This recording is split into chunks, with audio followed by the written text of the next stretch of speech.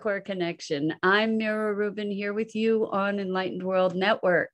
And today's topic is projection from the inside out. We talked about projection earlier in the week, but it was more about um, projections that we might um, be experiencing from other people or that we might cast on ourselves. And um, today I want to talk about how we, our projections out into the world dictate our experience and how we can shift that around based on what we're projecting. So before we get started, let's take a minute or two to get present and settled in. Let's take a deep breath in through your nose and hold it. And imagine clean, crisp oxygen flooding into your lungs, flowing into your bloodstream, nourishing all your cells and organs, and bringing vital life energy to your body and being. And as you exhale, exhale any tension, stress, negativity, or fatigue. And now let's take another deep breath in through your nose and hold it. And this time, imagine brilliant, bright light lighting you up from the inside out, nourishing, lightening, enlightening, enlivening, and invigorating all your molecules, all your electrons, all your cells. And as you exhale, exhale any remaining negativity, fatigue, um, and tension and stress. And now let's just gently press our palms together and really put your attention into your fingertips to feel that amazing sensation as your fingertips rub across your palms and put your attention into your palms to feel that tickling and that tingling and allow yourselves to become present right here, right now. Welcome, welcome, welcome. So good to have you here. Good morning, Bernadette, and good morning, Andrea. So good to have you both and everybody else who's joining us. Um, today, we're talking about projection and how uh, really, really our experience of life is a projection of our inner experience, our inner beliefs and predispositions. So um, I was talking with a client and uh, we were talking about how how trauma leaves an imprint and um, when when we grow up in a traumatic environment we develop behaviors that are um, designed to protect us and that ultimately become not so not so positive. For instance uh, anger or you know like defensiveness can be a really effective tool against attack. Good morning good morning susan. So good to have you here with us. We're talking about projection. And so we're um, with trauma we we develop responses behaviors that that help to protect us. And it may be it may be a behavior for instance of going numb it may be a behavior of running. It may be a behavior of attack counterattack you know or defense. Um, and and then as we because we're conditioned in so many ways to that environment of trauma, it becomes a lens through which we see the world. So, what we're doing is we're projecting the intention. Bernadette says fight or flight syndrome. Exactly, exactly. And what happens is that we we um, then see through that lens of attack because we've been so conditioned to it. And so our response is to to go into whatever our pattern is. And you know, it's interesting. Um, the fight or flight syndrome, I've heard it expanded and uh, expanded to fight, flight, freeze, um, feed and engage in sexual behavior. Those are all ways because I'm not going to say that word here. but um, those are all ways that we respond to trauma. Good morning. Good morning, Rosalind. So good to have you here. Um, so the thing is that those those pattern behaviors part of that pattern behavior is a perception or a projection of danger right so Bernadette says, Oh, I think I'm missing a few steps. I just recently learned of those other other responses, but it makes sense. I mean, I've seen it. Certainly, a lot of people um, eat to give themselves comfort and and um, and on and on.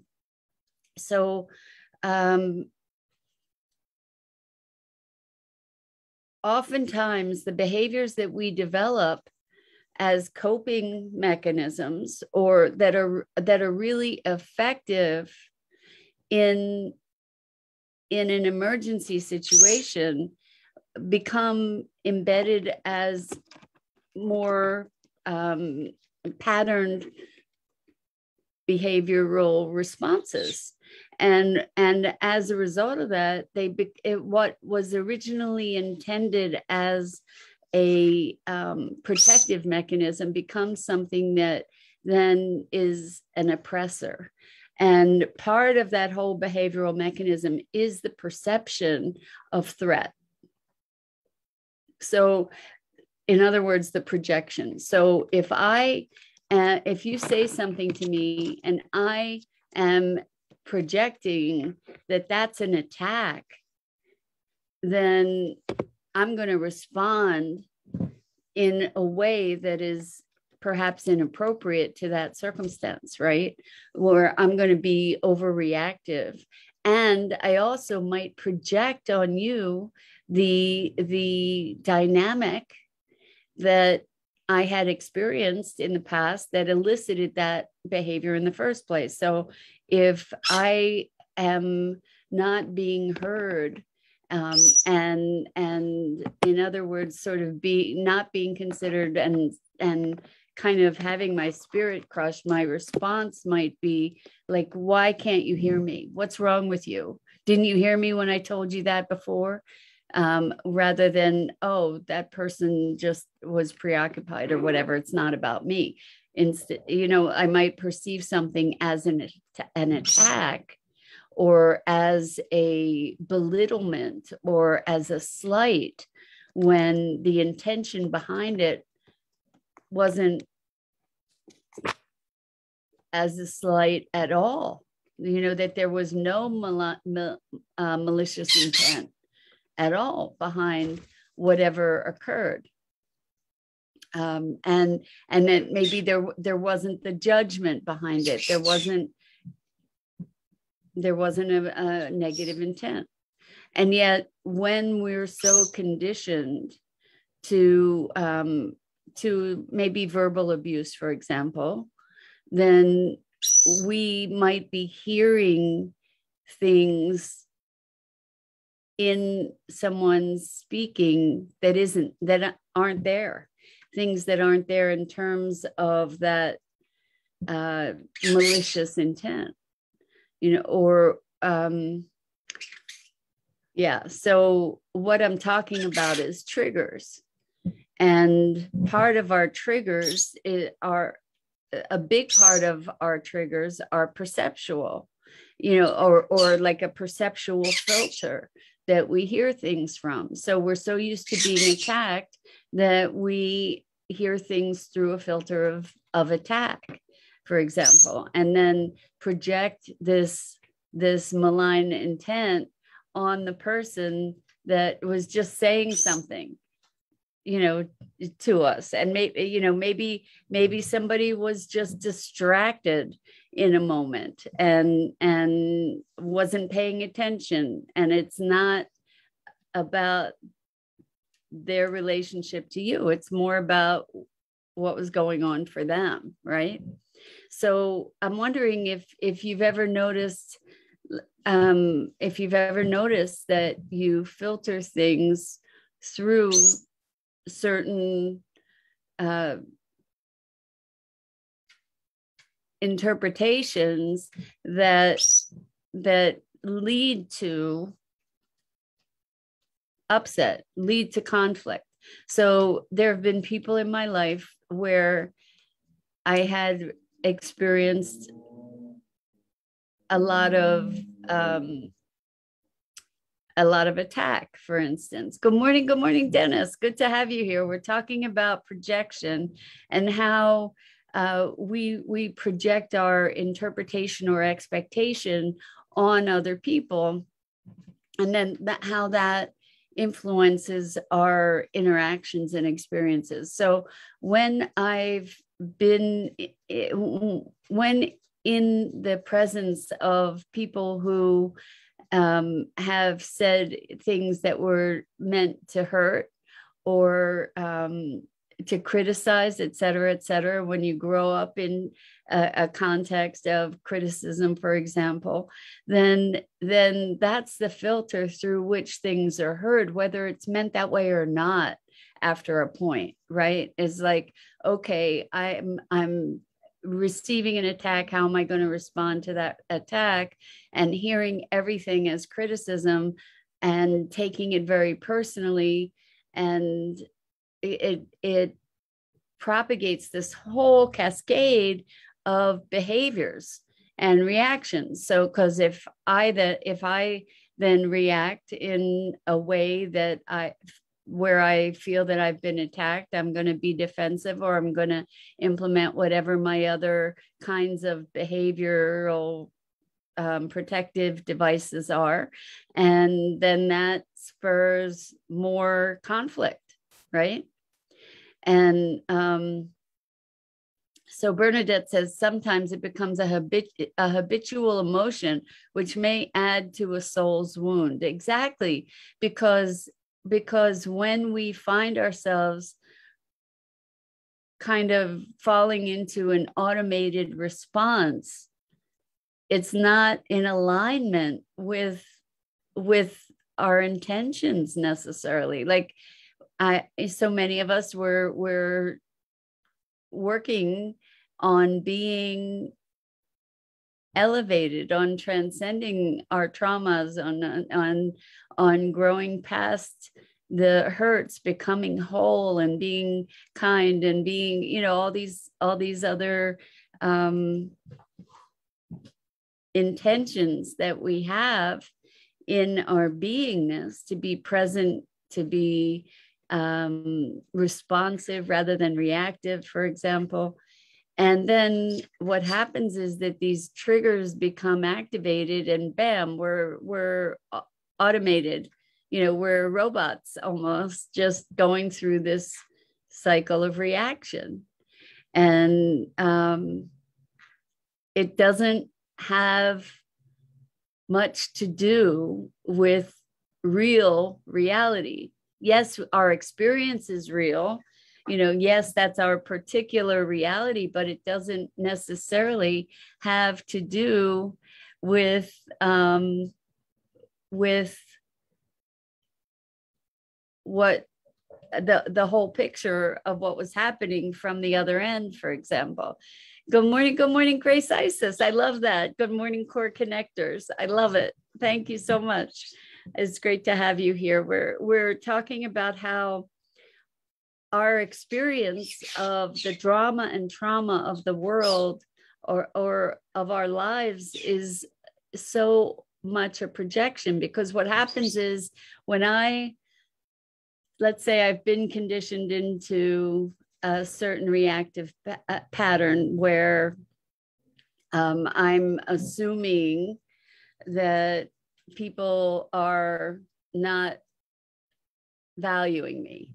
So when somebody says something, I'm going to be hearing it through the filter that people aren't valuing me and I'm going to react to to say, well, you know, what's what's wrong with you that you're not valuing me or not recognizing me or or whatever like if that's if I have that defensive kind of protective mechanism.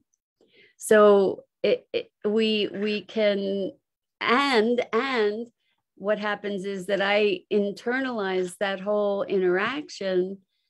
And I'm not using me saying this is what happens for me because it's it in the past perhaps, but way less so now anyway.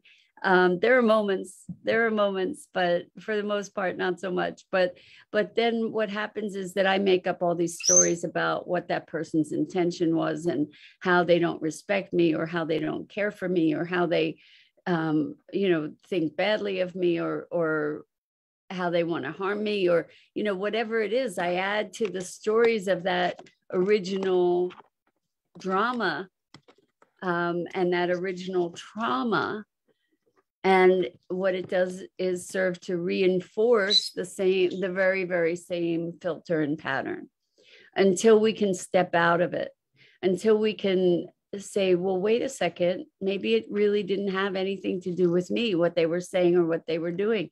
Maybe it wasn't something that was intended to be hurtful to me. And and in that in that possible understanding maybe i can step away and start uncoiling that that whole tangle of emotions and, and responses. So I'm wondering um, wh- how in in your life, if you've seen places where you've had these reactivities and you were able to diffuse it, um, uh, diffuse all that wiring, you know, to unplug it and and what kinds of artful ways did you go about doing that? Good morning good morning josie. So good to have you here. Um, so we're talking about projection and how our suffering is largely based on a projection.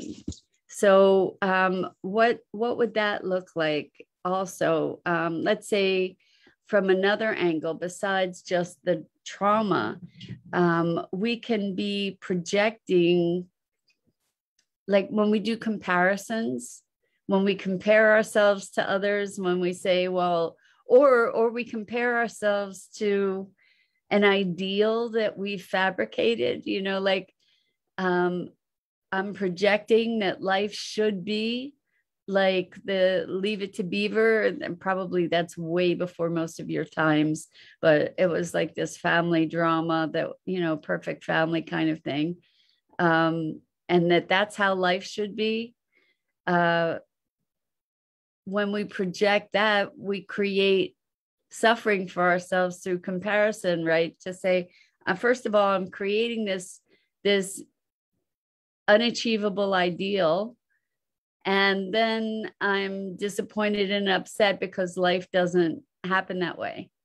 Or I'm projecting this ideal of um, by this point in life, I should have this much money. I should have this kind of circumstance. I life should be a certain way. All of that is a projection. And um, when we should on ourselves and others you know what we're creating is is an opportunity for misery.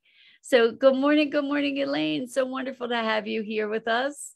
And um, susan uh, susan remembers leave it to beaver. That's awesome. Um, i love that show too. Uh, it was a long time ago anyway, um, so the uh, projection, whether we're projecting projecting intentions on others or we're projecting uh, these ideals of how things should be, or we're projecting ideals about how we should be. I should be this way. I should have done this. I should have done that. I shouldn't have reacted that way. When when we're projecting these uh, ideals and ideas of how things should be, what what's actually going on? You know, we're creating a fantasy and then comparing reality to it. you know, like who said that, that that's the way things should be? You know, what what is this whole idea of things should be a certain way? You know, things are as they are. You know, we we may desire for them to be different, but that doesn't mean that they should be that way. And we don't get to punish ourselves and other people because we have this idea of what should be. So um, Kay said, Hey, Kay, welcome. I don't think I've seen your name here before. Kay says, manifesting the new earth. That is indeed my projection. And so it is. Thank you, thank you, thank you. So, so we can, I, I believe too, and thank you for your for your um, contrast here is excellent. And we we create pro- positive projections too you know like we can meet somebody and we can be projecting let's say we're enamored of that person we can be projecting all kinds of wonderful um, attributes on them. We can also be uh, imagining and manifesting and i don't know if manifesting is any different from projecting maybe maybe it isn't. Um, to bring into being we can be uh, projecting all kinds of possibility. I, I, think the way that i'm thinking about projection is is distinct from manifesting. Um, and and i'm all about manifesting the new earth. So i'm right there with you kay. Um, and i think that there's maybe can we make a distinction between projecting and intending um, because I think having clarity of intention is is different than a projection of that that's not particularly conscious in in the context that I'm speaking of anyway. Uh, the way that I'm using the word is really like um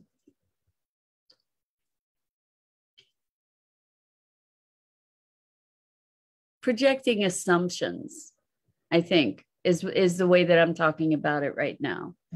Um and and i see that as different from intending.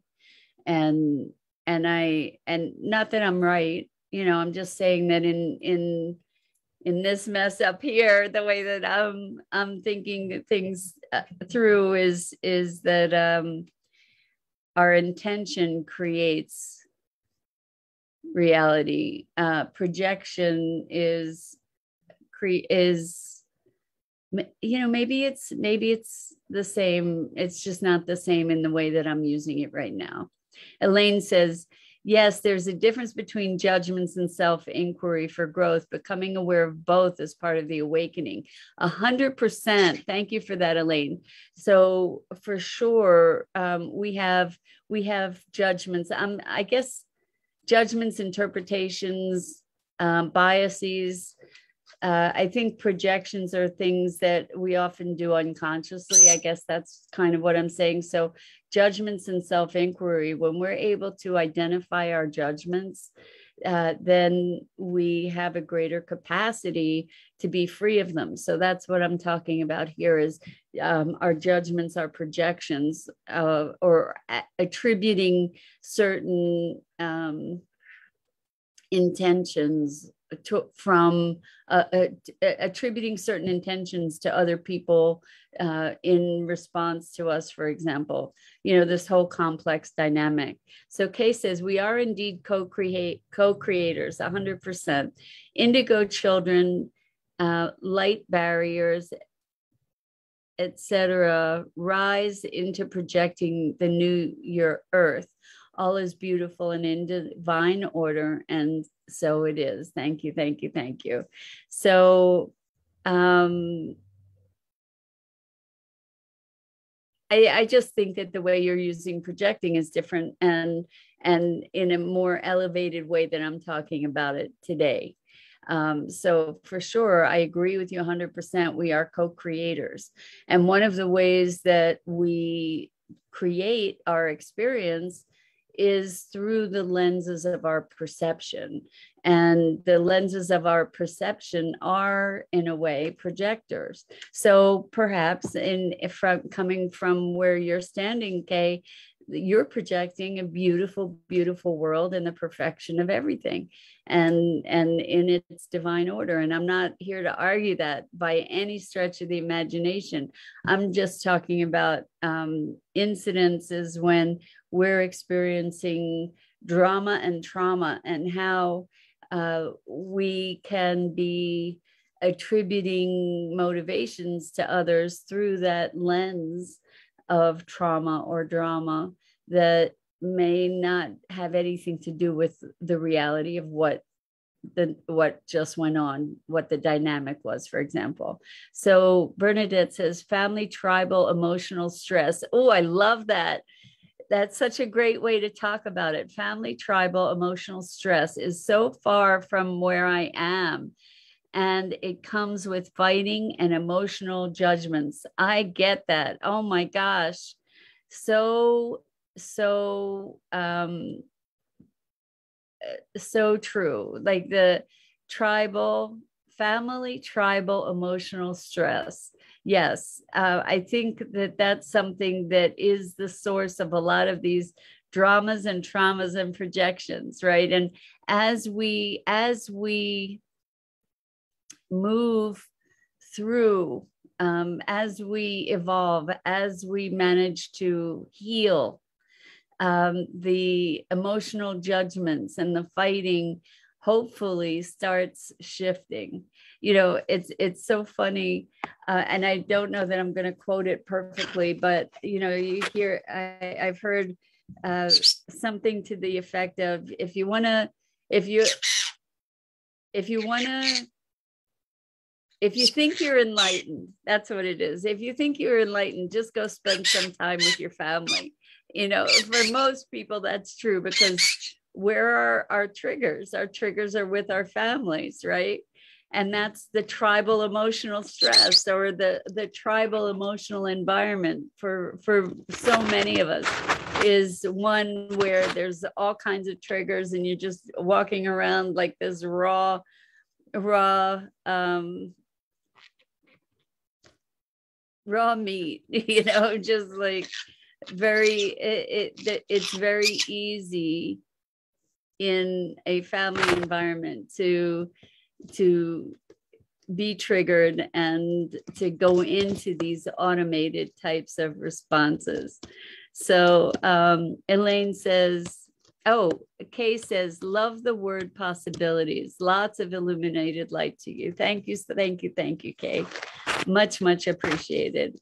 And um, Elaine says, Ram Dass said, if you think you are so enlightened, go out, go hang out with family. Okay. So I didn't know who it was from, but thank you for that, Elaine. Exactly. You know, if any of us need to be humbled, just go hang out with your family and it'll, uh, it'll, um, take you down a few notches, right? We get to see where we're still uh, where we're still triggerable, right? And and um, I think that in the context that I was talking about projection, I think that in family, that's where our projections are most alive, you know, because we think we know someone. So we have certain expectations of how they're going to interact with us. And so we, the lens through which we perceive something is tempered often by hurt or anger or or resentment or judgment or whatever you know whatever challenges we've had within the family context. Some of us are fortunate enough to have the experience of trust and love in family and that's a beautiful thing.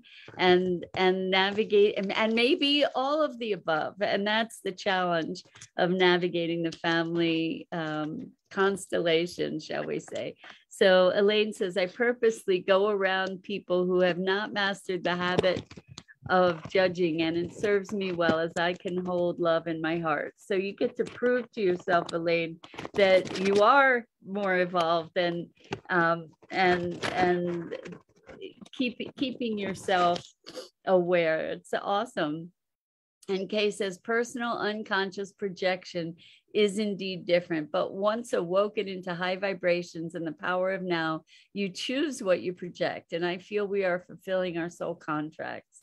I agree with you 100%. Okay, that's that's really what I'm talking about is bringing our our projections to awareness so that then we can elevate them and and um, make conscious choice that's what it comes down to that's the source of freedom and and i i've realized more and more that um, for me it was really interesting in in um, identifying my core values. Uh, what i my top value was consciousness.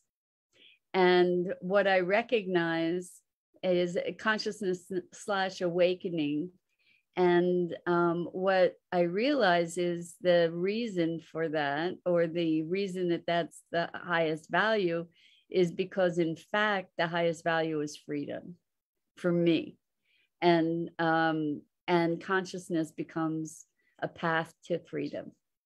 And so uh, freedom is one of my, is, the, is my highest value and we can talk about values. Maybe maybe tomorrow we'll talk about values. Anyway dennis says judge not yes tongue twister. Judge not lest ye be judged. And that's that's so so so true. Because well even even if we don't judge it doesn't stop us from being judged. Perhaps it frees us from the the bonds of the judgments of others if we're not judgmental, but it doesn't stop others from judging us necessarily. And in any case, this has been a very stimulating conversation, at least for me, and I hope so for you.